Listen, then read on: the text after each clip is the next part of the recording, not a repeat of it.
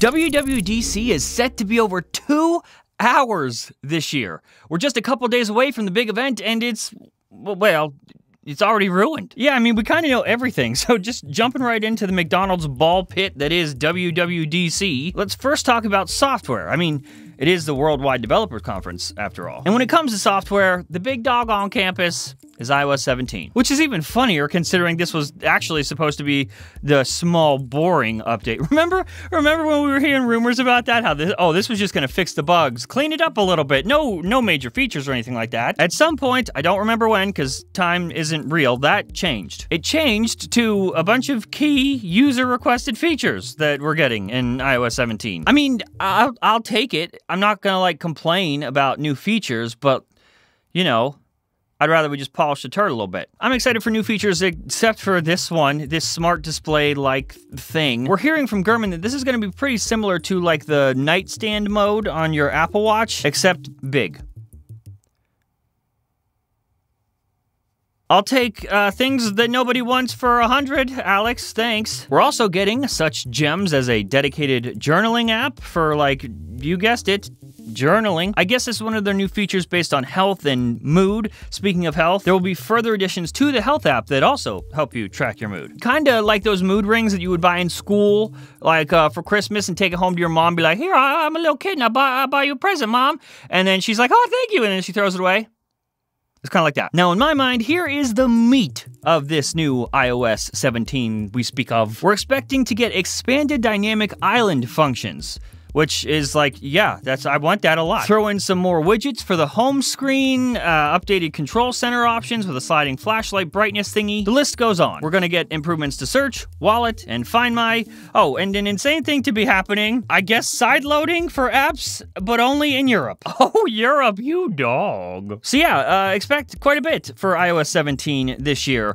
Uh, some cool stuff. But listen, as we already talked about uh, last week or sometime, uh, we put out an episode talking about what I I believe, is already the biggest features of iOS 17. They've already been announced in a press release, in a newsroom post like weeks ago. Those are official. Apple shared them early. So if you missed it, you want my full opinion on that stuff, link to that episode is down below. All right, so how about this guy?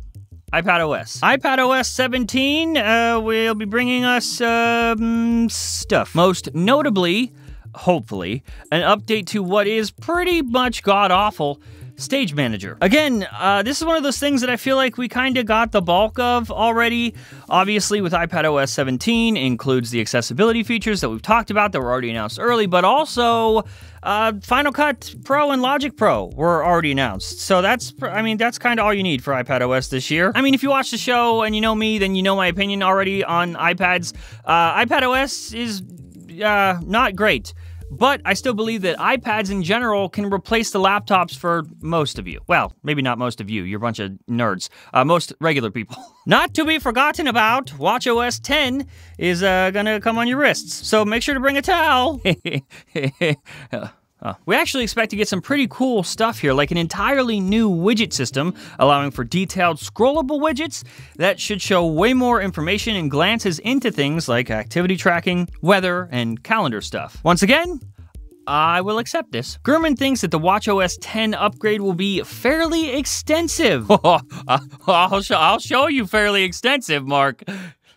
Of course, obviously, also expect a new version of macOS, though, uh, we don't know much about that, actually. That's suspicious. That's suspicious. That's weird. Oh, and I'm pretty much just putting this part in here just to prove that I didn't forget or anything. Uh, tvOS is, you know. We're gonna get a new version, but it, it's tvOS, and tvOS does tvOS, and, well, tvOS forever. All right, we're about halfway through the episode. If you need to grab a snack, a drink, uh, do that, because now we're going to talk about hardware. We're getting quite a bit, actually. Mark Gurman says to expect Macs. Yes, plural. Like a 15 inch MacBook Air. Cool, right? Uh, yeah, I'll, yeah, that's okay. I will still forever and always prefer the 13 inch, but whatever. But even cooler, a new Mac Studio. My all-time favorite Mac, M2 Ultra, here I come, honey! You have all that so far? New Macs. Uh, but unfortunately, those new Macs do not include a new Mac Pro. Uh, that's coming later this year. Probably. And of course, lasty but not leasty, let's talk Reality Pro and XROS. This is a game changer, and I will fight you to the death if you try to say otherwise. People that aren't like excited about this headset, uh, what is it like to be so wrong? Something about this year just feels different. There's a buzz in the air, like the buzz you would get from a refreshing Bud Light on a hot summer's day uh, before they got canceled or whatever. I think it feels different this year because Apple knows that we know, bro. And we know that Apple knows that we know. And these teasers are so on the nose, Tim. Are you even trying? Code New Worlds? Mm-hmm. A new era? Really, Apple? Not like you didn't already give it all away with the uh, invites having AR-VR pass-through animations. We are definitely gonna get this headset at WWDC. But we are also definitely not going to be able to buy it. Mass production for this headset doesn't actually start until later this year, like fall.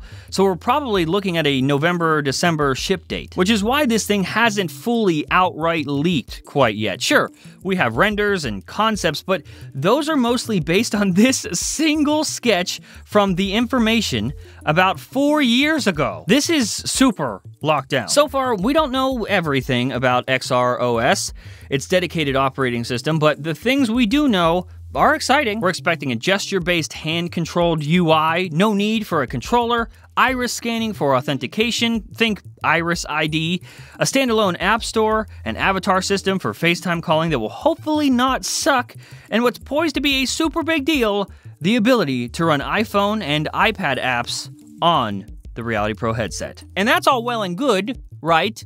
But the hardware coming is the real magic here. The Reality Pro headset is just, it's a lot. but the main points are that, well, we're expecting this thing to be 3,000 entire doll hairs, money, actual money that you must give. And it's gonna come with so many cameras that your Tesla will be embarrassed. Remember, this Reality Pro headset is meant to facilitate both AR, augmented reality, and VR, virtual reality, both. So yeah, we need trackers everywhere. The rumor is that the cameras and stuff are really well hidden on this device. Like, barely noticeable. So how they did that, don't I don't know. Witchcraft probably. We're expecting the headset to have insanely high-resolution 4K micro OLED displays as well. Uh, like a couple years ago, employees had described this as indistinguishable from reality. Mm, yeah, okay. Also, this thing is supposed to be like crazy lightweight, and I'm talking like 100 to 150 grams.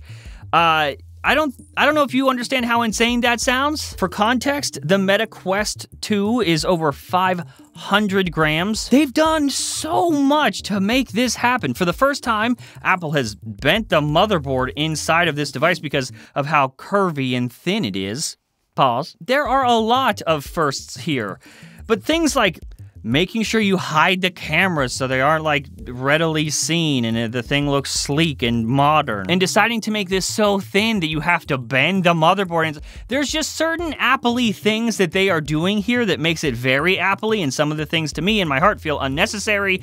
And if we didn't do some of those things, maybe it wouldn't be $3,000. One uh, weird thing though, is that the Reality Pro headset is supposed to be powered by a waist-mounted battery pack. Mm, yeah, so here's the thing. I think I might hate that. Sort of like a MagSafe battery pack on your waist uh, that has like a MagSafe cord that goes up to your right temple to plug into the headset. That's just how it works. That's what keeps it so light. But also...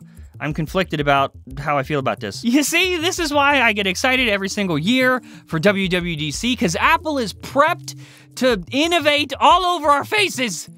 Yes, Tim! Innovate on me, Daddy!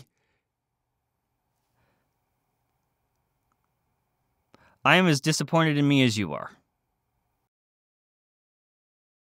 Hey guys, uh, me again. So, this is the last episode of Front Page Tech before WWDC, but that also means it's the last episode before my meet and greet June 6th in San Francisco. That's Tuesday. It's right around the corner, uh, so I'm getting on a plane like literally in a few hours. If you bought a ticket, if you're going, I am so excited to meet you and put a face to the username. Uh, if you don't have a ticket yet and you're kind of feeling like, hey, I'll leave a link to a couple of extra tickets in the description below if you want to like grab one last minute. And for the rest of you, I'll see you a little bit later next week. I love you and uh, enjoy Dub Dub.